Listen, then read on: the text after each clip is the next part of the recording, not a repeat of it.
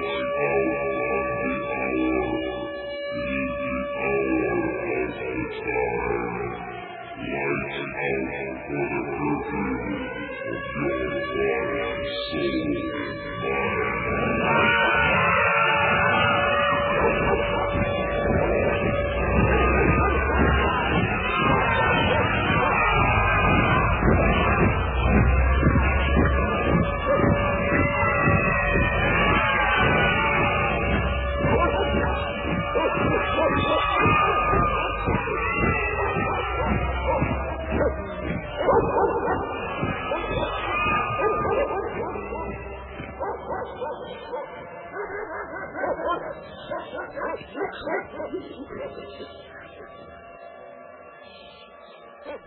You're listening to the Hour of the Time. I'm William Cooper. And I'm Pooh. Well, why don't you start us off? Okay. I pledge allegiance to the flag of the United States of America and to the republic for which it stands, one nation under God, indivisible, with liberty and justice for all. I want to do it t- tomorrow so I won't forget. Okay, you be here tomorrow night and we'll do it again. No, I want to do it today. You want to do it today? Uh-huh. Well, go ahead. Okay. I pledge allegiance to the flag to the United States of I pledge allegiance to the flag of the United States of America and to the republic for which it stands, one nation under God, indivisible, with liberty and justice for all. What made you think you would forget it? I don't know. Okay, thank you. You're welcome. Well, folks, tonight we're going to continue with our revelations on the identity of the beast, the beast empire, that is. As we told you, we were not going to attempt to identify the man, but the empire. And that's exactly what we're going to do. You know, it just it galls me when I listen to shortwave and the other radio stations and hear all of these other people telling you that you heard it first there, that they warned you, and that they're the only ones that are revealing what's going on in this country. Because when I wrote about it in my book almost five years ago, and before that began to stand up and tell the world what was coming, every one of those people said that I was crazy. Every single one of them. Tom Valentine even called me a CIA agent and said that I could not be trusted. He signed his show off tonight with the admonition that you heard it all from Tom Valentine on Radio Free America first. Tom Valentine, you're a barefaced liar.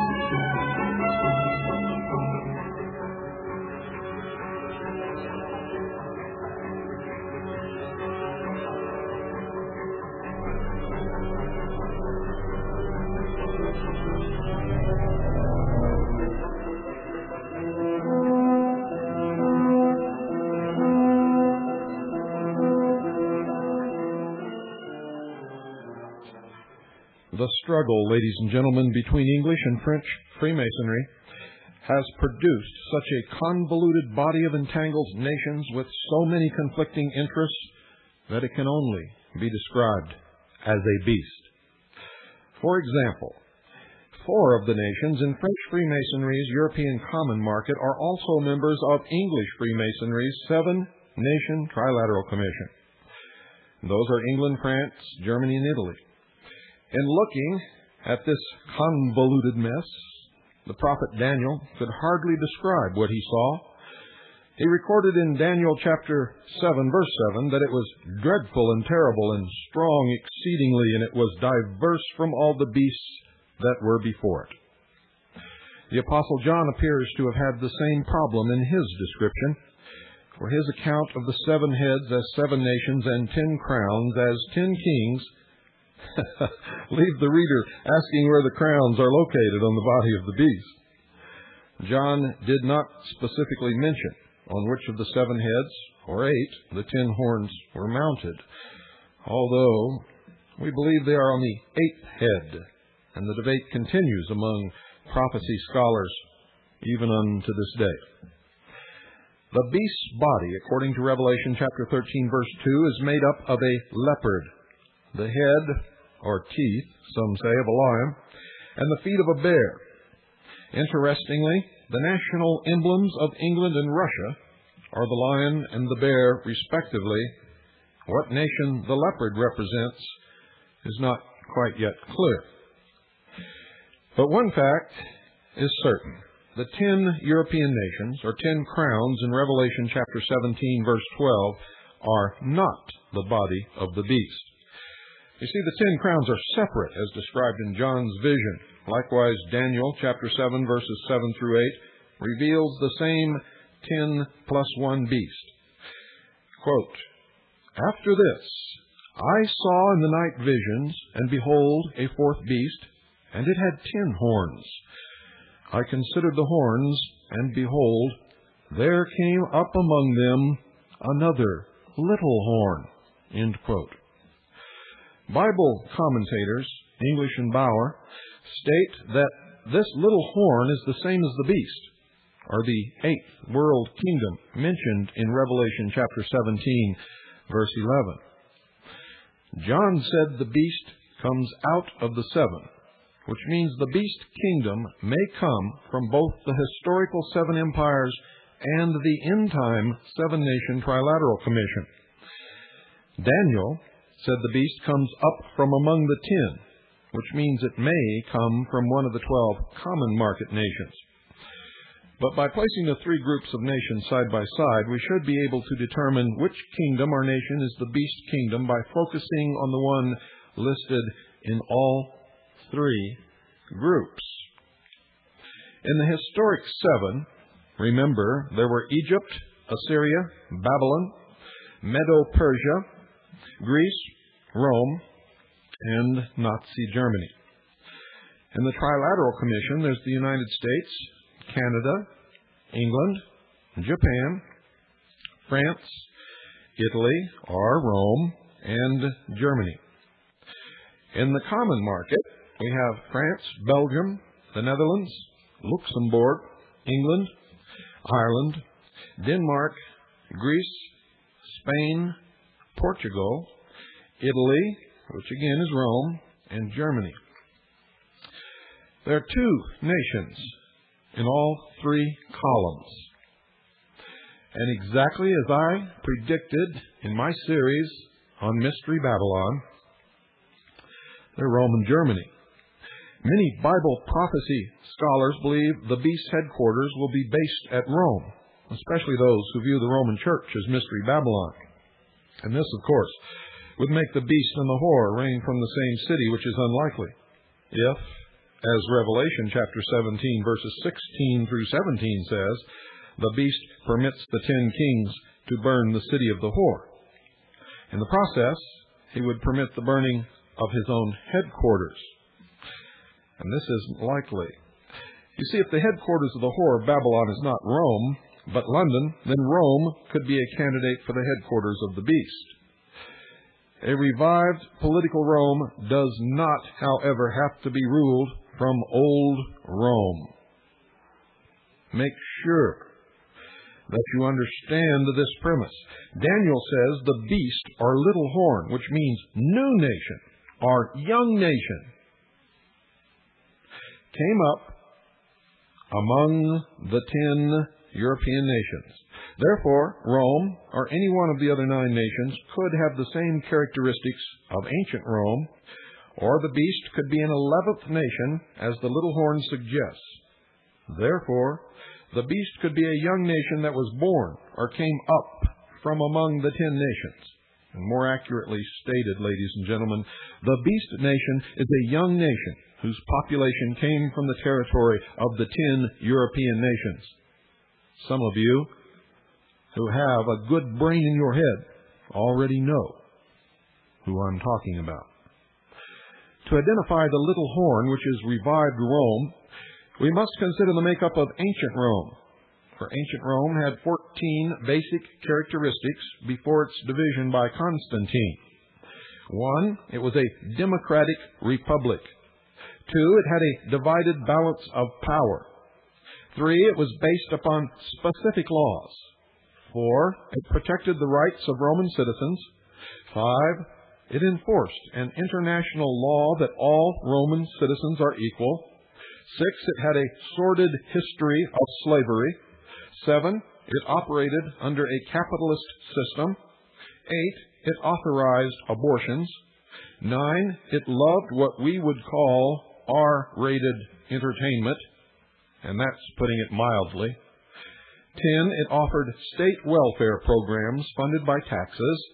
Eleven, it had a thriving business in lawsuits. Twelve, it was the melting pot of the world. Thirteen, it promoted sports as its favorite pastime. And 14, it displayed as its national emblem the single headed eagle with wings spread. After the division, the eagle became double headed. Since the reign of Charlemagne as the first Holy Roman Emperor, German kings have been the most influential rulers in the Holy Roman Empire. As such, they became the new Caesars, or Kaisers, in Germany. As Reverend Church says, it seems that Germany plays a far more important role in the fulfillment of Bible prophecy than one might think at first glance. The thought that the future Antichrist could have his roots in Germany becomes more plausible when one considers the historical roots of the empire. Germany's historic roots, ladies and gentlemen, fit many of the requirements of revived Rome. Today, Germany is a democratic republic, has a divided balance of power, is based upon specific laws, protects the rights of its citizens, operates under a capitalist system, and has a sordid history of slavery under Nazism. For those in the labor camps were indeed slaves. Germany's most significant historic symbol and resemblance to ancient Rome is its national emblem, adopted from Constantine when Constantine came to power in 306 AD. He moved his headquarters from Rome to Constantinople in Asia Minor. His eastern empire became known as the Byzantine Empire, or the Second Rome. To symbolize the divided empire, Constantine transformed the Roman eagle from a single head to a double head, according to Mackey's Encyclopedia of Freemasonry. Upon the dissolution of that empire, the emperors of Germany, who claimed their empire to be the representative of ancient Rome, assumed the double headed eagle as their symbol. Another reason, folks, that Germany could be revived Rome is found in Revelation chapter 13, verse 3. John says of the beast, quote, And I saw one of his heads as it were wounded to death, and his deadly wound was healed, end quote. As we have seen, the seventh head was Nazi Germany. The dividing of Germany into East and West after World War II may indicate the wounding of the seventh head. The head healed may refer to the recent reunification of both Germanys in October 1990. Germany, however, must be disqualified. Sorry to disappoint those of you who were hoping that Germany was the one. But it must be disqualified as revived Rome for two important reasons. First, folks, Revelation chapter 13, verse 4 states that the beast will be a military power second to none. Second to none. At present, Germany is not that military power, but that could change rapidly. Second, as a member of the European Common Market, Germany is one of the ten horns, whereas Revelation 17, verse 12, describes the beast as being separate from the ten. Likewise, Daniel chapter 7 verse 8 describes the beast not as the ten horns, but as the little horn that came up from among the ten. As stated earlier, the little horn implies a young nation. Germany is millenniums old and the phrase came up from among the ten horns indicates that this young nation will be populated from the territory of the ten nations of the old Roman Empire. And again, this cannot in any way, shape, or form mean Germany. For Germany is still primarily populated strictly and proudly by Germanic races. Now, I'd like to remind you all at this point that a portion, good portion of this broadcast comes from a book entitled Scarlet and the Beast. From my research, the research of the members of the Intelligence Service and the Citizens Agency for Joint Intelligence. And uh, if you would like to purchase this book, Scarlet and the Beast, send us $39.95. That price is post paid Make checks or money orders out to Annie, A-N-N-I-E. That's thirty-nine ninety-five per book. Make checks or money orders out to Annie, A-N-N-I-E. And send it to the Intelligence Service, Post Office Box 1420, Show Low, Arizona, 85901. That's P.O. Box 1420, Show Low, Arizona, 85901. 85901. 85901. Now I continue with tonight's subject. Russia could also be a candidate for the beast, for under the Czars and the Soviets, Russia had a sordid history of slavery. Under the Soviets, Russia was a socialist republic. Socialism, if you'll remember from listening to this broadcast, is nothing more than democracy. And democracy is, of course, a code word for socialism. So the more you hear that word bandied about, about this country, the more you had better be prepared for socialism. Russia was a socialist republic with a large gulag slave population. And since December 1991, when the Soviet Union was dissolved, or at least we have been made to believe that it was dissolved, if you read Gorbachev's book entitled Perestroika, you'll see, in his own words, it's a sham. Russia became a democratic republic and therefore can be considered a young nation, a little horn. Moreover, Russia is attempting to operate under a capitalist system, as did old Rome. Russia's most significant resemblance to old Rome goes back to the fall of Constantinople, the second Rome, in 1453, when the Turks took that city. From that date, Russia has considered itself as the Third Rome. In 1472, Ivan III was the first Russian emperor to call himself Tsar, which is Russian for Caesar. Mackey's Encyclopedia of Freemasonry reports how Russia adopted the double headed eagle as its emblem. It was taken by Ivan III as his device on his marriage with Zoe Pale, I can't uh, pronounce that word, folks. Zoe Palaiologa, I believe, is the closest that I can get to it. Also known as Sophia, daughter of Thomas of Morea, claimant to the imperial throne of Byzantium. Ivan III claimed to be the successor of the Eastern Roman emperors. Now, if we're to consider Russia as revived Rome, it must share all the characteristics of ancient Rome. But Russia, however, has a long history of failing, failing miserably to protect the rights of her citizens. And she certainly is not the melting pot of the world. Furthermore, according to the description given in Revelation 13 and 17, the headquarters of the beast must be in a powerful nation with a strong economic, political, and military base, identical to that of ancient Rome. When the whore's city, London, is destroyed, the economy of the world can quickly be transferred to the headquarters of the beast kingdom, where it will be controlled by his mark, 666. And this cannot be Russia, for modern Russia is a nation whose economic stability for three quarters of a century has depended upon financial infusions from the West. And if you've listened to this broadcast for very long, you know all about that. The most significant reason that Russia cannot be the beast kingdom is that she is not one of the seven historic or contemporary heads of the beast, as Revelation 17, chapter 11, demands. Nor was her nation populated by immigrants from the territory of the old Roman Empire, as Daniel chapter 7, verse 8 requires. Furthermore, Ezekiel 38 and 39 indicates that Russia will be destroyed before the beast kingdom can have military preeminence. So let's look at France.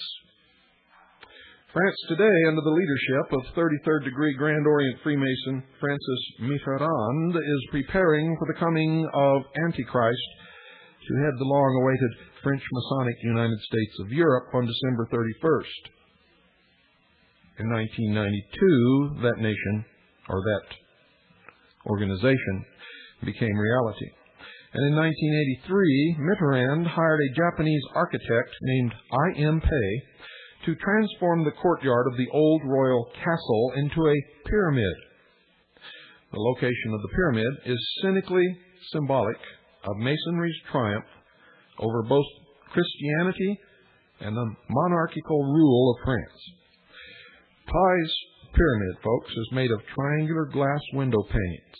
The weekly Insight magazine of July 3, 1989, tells us this story. And I quote The number of window panes in Pei's pyramid said to be 666, 666, and the form of the pyramid itself are reflections of the president's, that is, Mitterrand's passion for Masonic symbols, not to speak of his fondness for communing with the spirits of earth that leads him every year, druid like, to celebrate the spring equinox by pounding a wooden stick on a certain hill called Roche de Solutré in central France. France, ladies and gentlemen, however, cannot be revived Rome because it does not have all 14 characteristics of ancient Rome. For example, France is not the melting pot of the world nor does she display the eagle as her national emblem. In Revelation 17, the beast is initially controlled by the whore of Babylon, for she is riding on the back of the beast.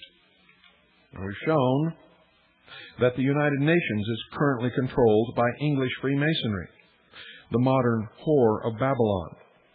Moreover, both Freemasonries are allied politically in the United Nations, as they initially appear to be in the beast. But there's a problem of numbers. You see, it eliminates the United Nations at the present time as the kingdom of the beast. The lack of distinct divisions of ten nations and seven nations in the General Assembly or the Security Council of the United Nations would suggest it is not the beast. But if you read my book and you've looked at the world government model of regionalism as outlined in the appendix, you will see that the world will be divided into ten regions. Furthermore, the United Nations has no real military strength of its own, as the beast must have. If the United Nations has any significance at all, it's by virtue of the nation on which soil it resides, and nothing more. Nothing more.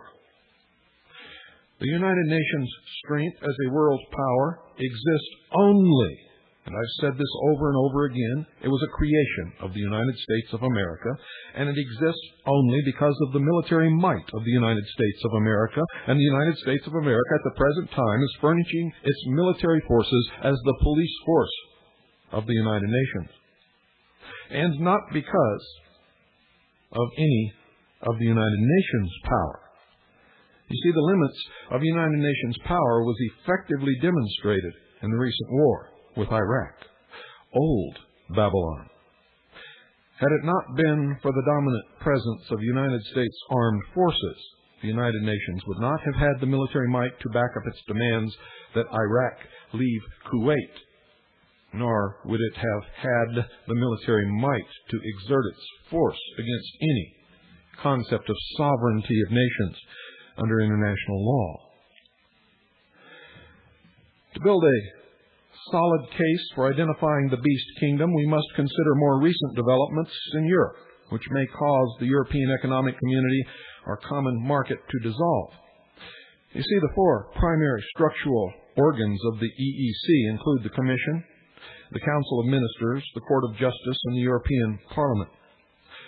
The European Parliament folks, inaugurated the United States of Europe on December the 31st, 1992, exactly seven years to the day from the year 2000. Significant. The figure seven being a, a very important and prophetic number of years.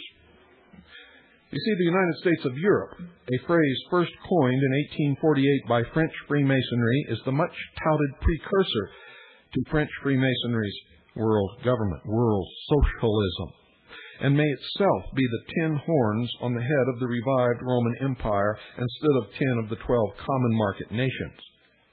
This, of course, would exclude England and Ireland. The fulfillment of the prophecy in Revelation chapter 17, verses 12 through 13 and 16 indicates how this might happen. In this passage, we see that the ten kings in the United States of Europe will hate the whore, London, and pledge their allegiance to the beast. When the beast gives the ten kings permission to burn London, Ireland will go too. Now remember, ladies and gentlemen, a comment that I made several weeks ago on this broadcast that William Clinton, even though educated in the Rhodes Scholarship Program, even though he was brought to power by Mystery Babylon, he has turned against his master and has sided with the beast.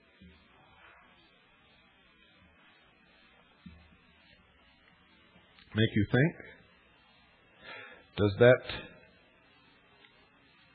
does that make the wheels turn? I certainly hope so. Scripture gives us wisdom with which we can irrefutably identify the beast according to Scripture and his kingdom. Now, this wisdom comes from understanding the mark of the beast in Revelation chapter 13, verses 16 through 18. And if any of you saw my seven hour tape of the workshop that I did in Atlanta, Georgia. You already know what I'm going to talk about here. Quote, And he causeth all, both small and great, rich and poor, free and bond, to receive a mark in their right hand or in their foreheads, and that no man might buy or sell save he had that had the mark, or the name of the beast, or the number of his name. Here is wisdom. Let him that hath understanding count the number of the beast, for it is the number of a man, and his number is six hundred threescore and six, and there are two ways to compute this. Roman numerals give the clue of how to identify the mark of the beast. When the New Testament was written, Rome used a combination of six alphabet letters to make up all their numbers, every one of them, the letters are D, C, L, X, V, I. The letter M representing 1000 is a more recent invention. Originally, it was CIC with the right hand C turned backwards. And by connecting the two C's to the I in the middle, it gradually evolved into M. The six original Roman numerals and their numerical equivalent values are D equals 500, C equals 100, combine the two, that is 600. L equals 50, X equals 10. You combine those two, it equals 60. V equals 5, I equals 1. Combine those two, it equals 6, and they total in a column DCLXVI 666. When we group each of the letters above in order of twos, we discover the exact fulfillment of Revelation 13, verse 18, exactly as I have just outlined.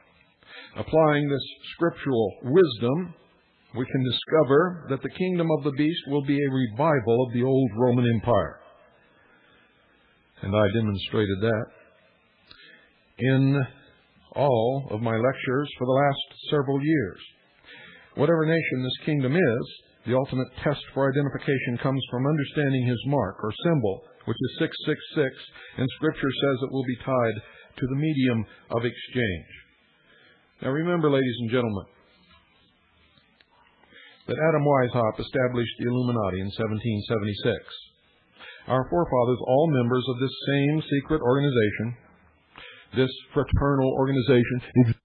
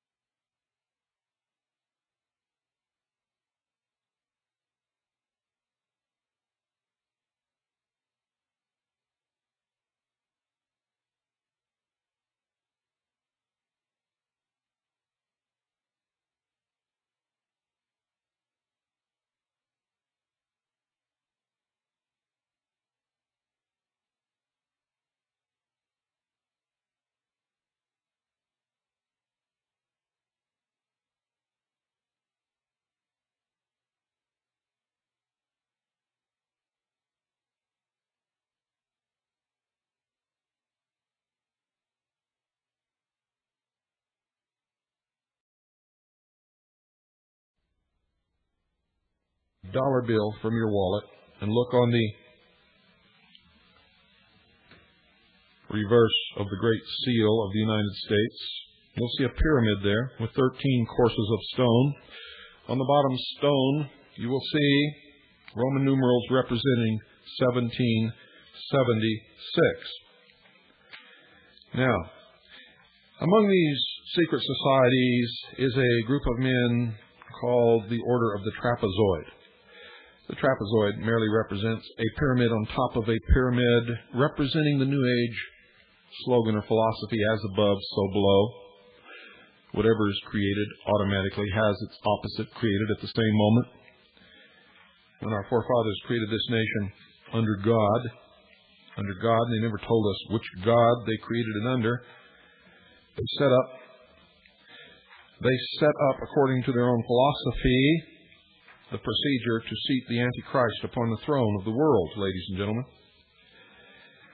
And if you take that 1776 MDC CLXXVI and place them around the corners of three pyramids, beginning at the top of the first, at the apex, M, D at the lower left, C at the lower right of the first, then go to the second pyramid, C at the apex, L at the lower corner, X at the right lower corner, and then to the third pyramid at the top, X and the lower left, V and the lower right, I, and then draw an inverted pyramid beneath these three, and going across, adding exactly as we have placed 1776 in the same order that it appears on the lower course of the pyramid on the dollar bill. We now add across the lower legs and place the sum of each at the lower apex of the inverted pyramid underneath the three.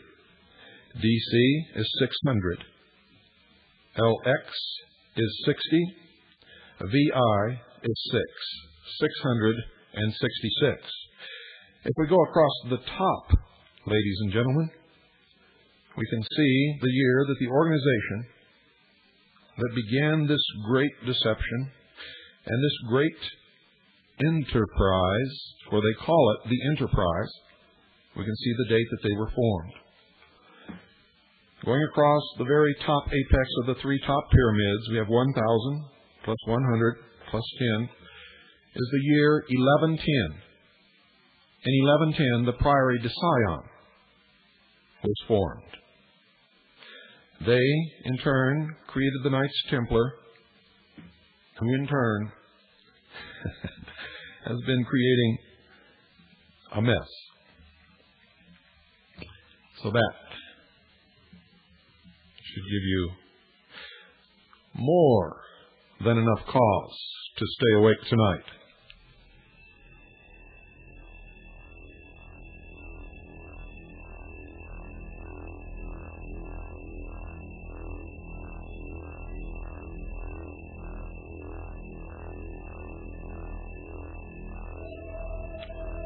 Don't go away.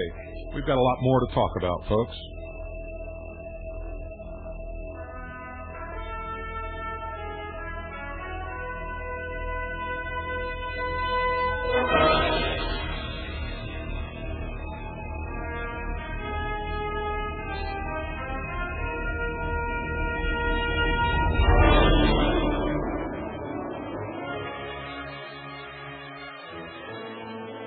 First episode of the Star Trek series, the captain of the Enterprise was Christopher Pike.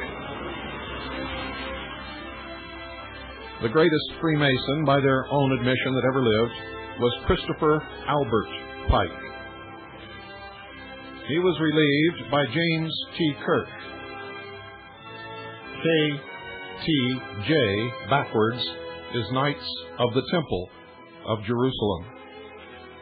And these are the voyages of the Starship Enterprise. The mission? To seek out new life forms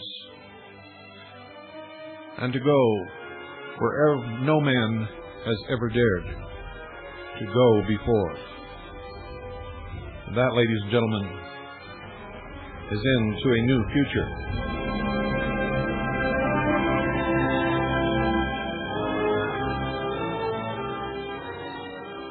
Aboard the Enterprise.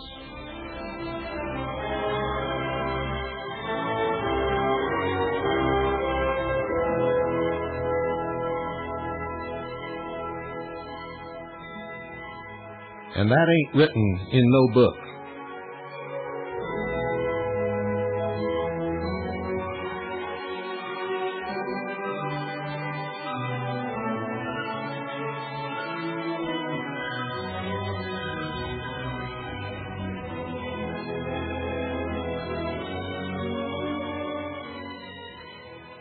Hour of the Time, folks, is brought to you by Swiss America Trading.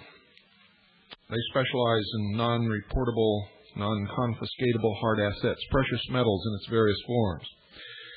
And if you get real worth from listening to the Hour of the Time, if this program literally lights up your mind and blows you away, then you owe some allegiance to them, for without them you would not be listening to this program your level of education would not be where it is at now. You would still be a bleeding sheeple somewhere in a pen being sheared, getting ready to be led into the slaughter. So call them and thank them. Explore the ways that you can save something of what you have in the sure calamities that these these deceivers are bringing about.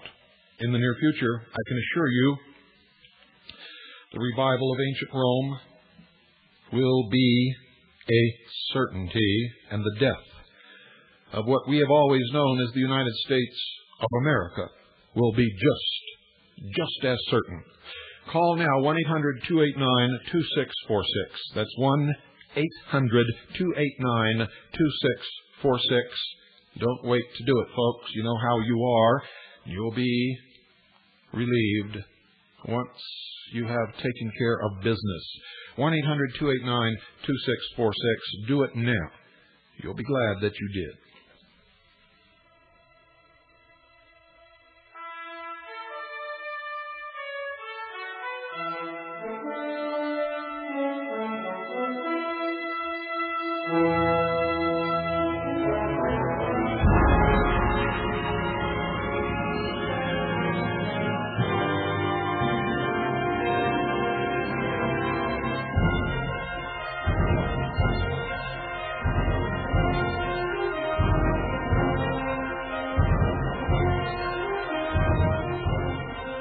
Ever noticed, folks, in the Star Trek series that Spock represents the illumined man? Coming from a point of pure reason, warring against the emotions of Captain James T. Kirk. And of course, nothing can ever be repaired or fixed if Scotty is not there. Because Scotty hoards the technology. He won't teach anybody anything, and he's the only one who can make that blasted thing go. And that's how they control the crew. Who, if you really pay attention, are nothing more than a bunch of zombies who don't have money, don't have families, don't have love, never have fun, and do exactly what they're told to do all the time.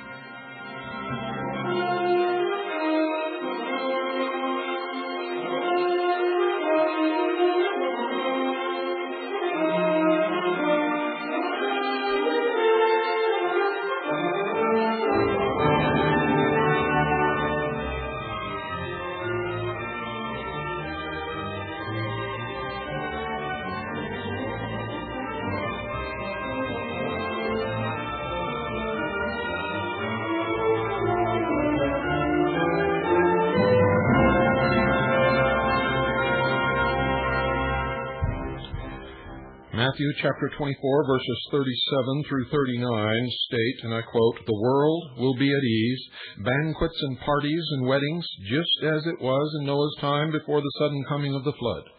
People wouldn't believe what was going to happen until the flood actually arrived and took them all away. So shall be my coming, or so shall my coming be, end quote. Every ancient culture tells the story of a prehistoric civilization destroyed by flood.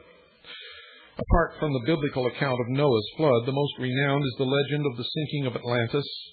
Ignatius Donnelly in Atlantis, the Antediluvian World, compares the biblical, biblical account with this Greek legend. My throat is getting dry, folks, and my tongue is becoming tied to my wisdom tooth, so you'll have to forgive me as I go along.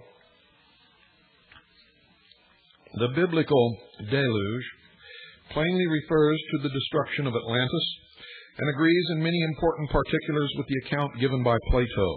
The people destroyed were in both instances the ancient race that had created civilization.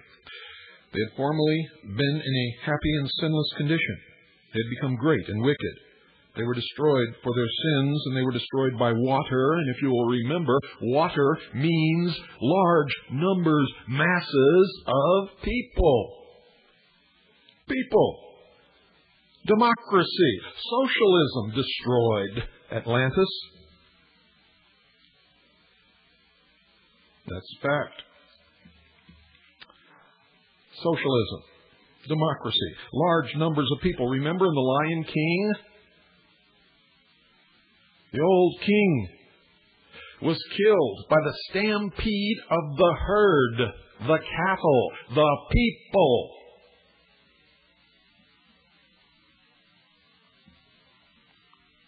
Brought on by the machinations of Scar, the dark lion with the scar above his eye representing Cain. See, you'd all better wake up. You've been taught baloney and bullshit all your life. And you put a little mayonnaise on it and you eat it and you go to town and you think you're full of food. But you're not. You're spiritually desolate. You know nothing. I am a messenger, and you had better heed my message, for you have no time left. The earliest of secret societies were obsessed with the legend of Atlantis. It's always been their goal to get even for the destruction of their golden age. Who destroyed them? The church, the state, and the mob. It's represented in the initiation by the murder of Hiram Abiff and they have sworn revenge. They will destroy all existing nation states, all existing religions, save theirs, secular humanism, wherein man will become God, and they will shackle, enslave the mob forever, so that the mob can never harm them again.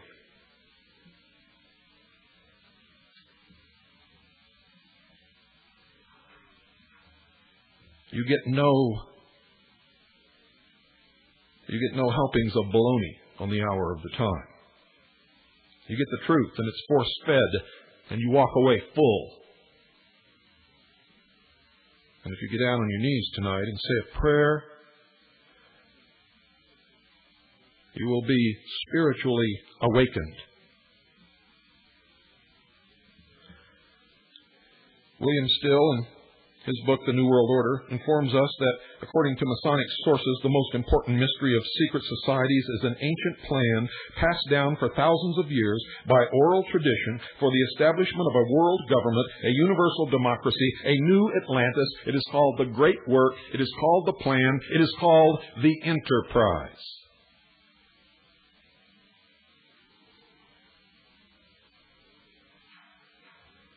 Old Atlantis was believed by Freemasonry to have been a democracy. Legend states that it was also an advanced scientific society. In fact, it is reputed to have been the center of learning and still explains, quote, secret societies believe that in Atlantis stood a great university where most of the arts and sciences originated. The structure that housed this university was an immense pyramid with many galleries and corridors, with an observatory for the study of the stars sitting on its immense apex. Mackey's Encyclopedia of Freemasonry says that from this legend developed a long lasting tale of a continent in the Atlantic, somewhere west of the Straits of Gibraltar, once covered with civilization which sank suddenly under the waves. This legend sprang up from the inability of those who attempted to discover the meaning of this metaphor, their inability to understand the symbols. Explorers have searched for lost Atlantis in the Mediterranean, west and south of Africa, South America, and off the east coast of the United States. In 1932, Edgar Cayce, who lived from 1877 to 1945, who claimed to be a psychic from Kentucky, reportedly pinpointed Atlantis. And to no one's surprise, Cayce said it was where Plato had located it in the Atlantic Ocean, though Cayce did not specify exactly where in that great watery expanse, somewhere between the Mediterranean and the Gulf of Mexico. And I guarantee you, you will find nothing there. Then he made another prediction that Atlantis would one day rise up out of the sea near the Caribbean island of Bimini. And if you sit around and wait for it, I guarantee you you'll grow old and disappointed, and you will see nothing of the sort. Can we find any connection between the Atlantis of ancient legend and the location of the Beast Empire? Yes. And if you were listening to our series on Mystery Babylon, you've already found it because I gave it to you. It began with Francis Bacon. For he set up in the secret societies the efforts of the initiates to make the new Atlantis in the New World. And that's exactly why Atlanta, Georgia is named Atlanta. Wake up, dear sheeple. The Apostle John gives a description similar to Cayce's of the beast empire in Revelation 13, verse 1. Quote, And I stood upon the sand of the sea and saw a beast rise up out of the sea, having seven heads and ten horns, and upon his horns ten crowns. And if you had stood upon the continent of Europe or Africa and looked, ladies and gentlemen, toward the west, if you could have seen the continent of America, that is exactly the vision that you would have beheld. And I stood upon the sand of the sea and saw a beast rise up out of the sea, having seven heads and ten horns, and upon his horns ten crowns. The numbers 7 and 10 from this verse in Revelation correlate with the Atlantean legend. Still states that some 10,000 years before the Greek civilization, Atlantis was ruled in complete harmony by a cooperative commonwealth of ten kings known as the Atlantic League. Seven of these kings ruled over the seven islands that actually made up what was called the continent of Atlantis. The other three kings of the Atlantean kingdom ruled over the other three known continents, Europe, Asia, and Africa. Notice he gives away what he is trying to avoid there. The other three kings of the Atlantean kingdom ruled over the other three known continents, Europe, Asia, and Africa. For he knows what I know that America is the beast. The legend states that these ten kings were brothers, which may mean they belonged to a brotherhood similar to Freemasonry. Freemasonry believes the number 10 is significant when applied to government. Manly P. Hall, a 33rd degree Freemason, explains, and I quote, The League of Ten Kings is the cooperative commonwealth of mankind, the natural and proper form of human government Atlantis, therefore, is the archetype or the pattern of government which existed in ancient days but was destroyed. End quote. Like the biblical story, the legend of Atlantis states that its destruction was due in large part to its passion for limitless luxury. No longer did the Atlanteans value goodness above material wealth. Does that sound familiar? Plato says, quote, the portion of divinity within them was now becoming faint and weak through being oft times blended with a large measure of mortality, end quote. Loving their possessions above all else, the Atlanteans had lost their virtue. And now the seven kings of the seven isles of Atlantis amassed a great army to conquer the three continents because of their greed for power. The father of the gods, Zeus, caused the seven islands, or seven heads of Atlantis, with its population, to sink beneath the waves. They were literally destroyed by the weight of the welfare state. Freemason Hall states that when Atlantis died, so did the ideal pattern of government, which they're trying to bring back. And every effort to bring it back has always met with failure. Socialism sucks, and so do socialists.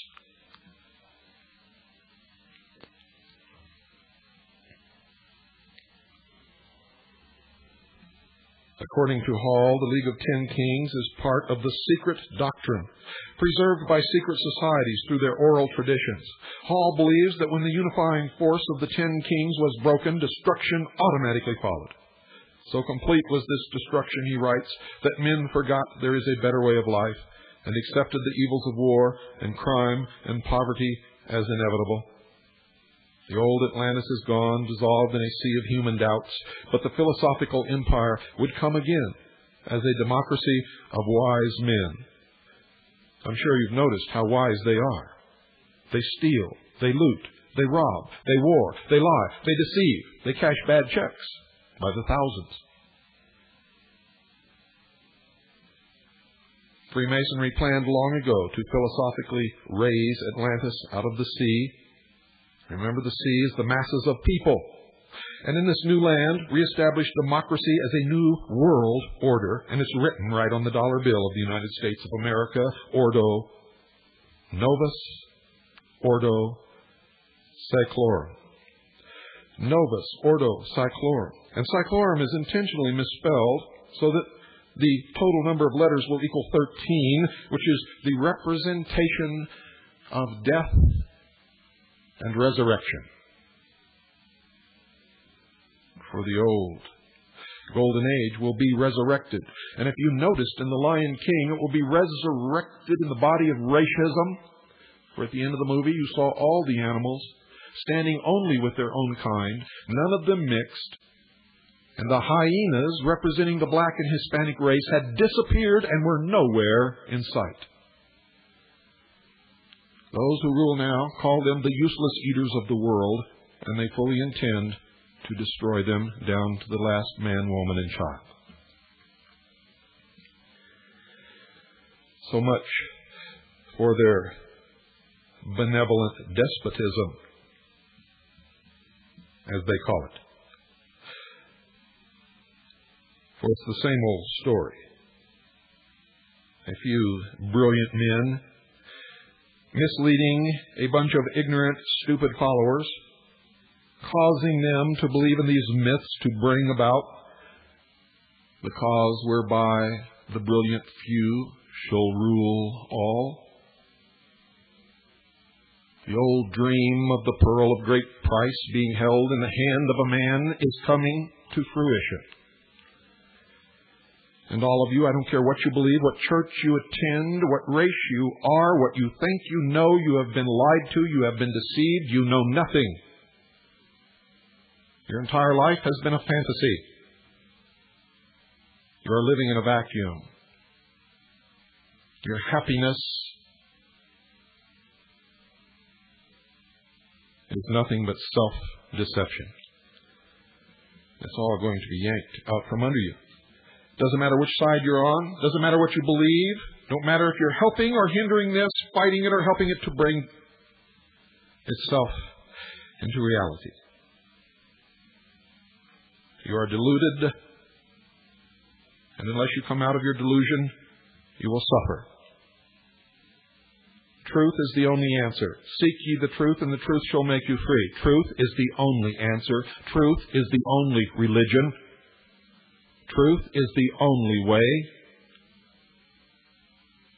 The path is straight, and the gate is narrow, and only those who seek the truth shall find the path and shall pass through the gate.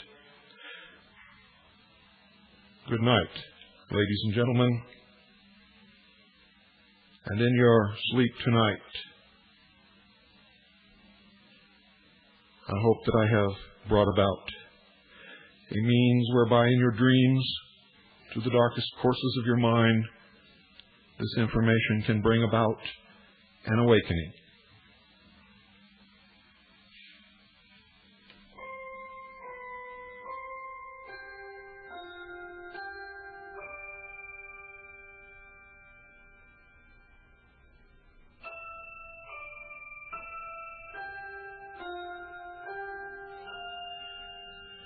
There must be a new world, let us bring it about, and let us make it a world based upon a foundation of truth, love, and understanding.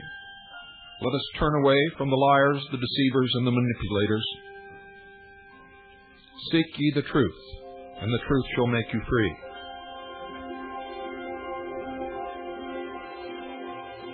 And in this message tonight can be, if you want it to be,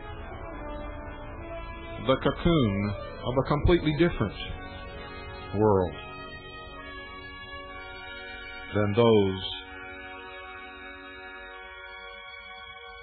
who would enslave us would bring into being.